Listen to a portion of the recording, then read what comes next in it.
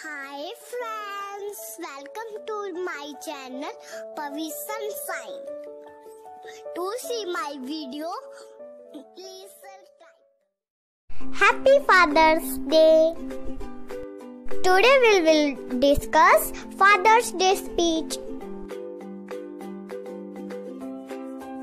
Father's Day is celebrated on the third Sunday of June. This day is observed all over the world on different dates.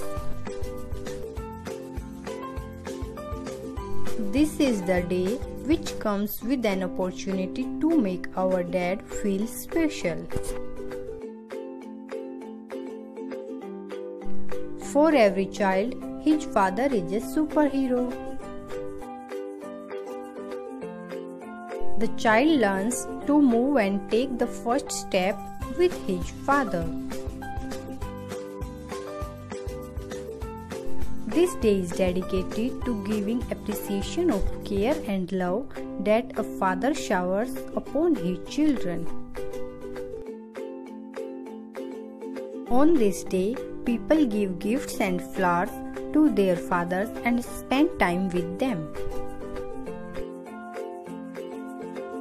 A father may be described in various ways like provider, the protector, the savior, and the creator. Father's Day is a celebration of fatherhood and the influence of fathers in society. Thanks for watching. Have a nice day.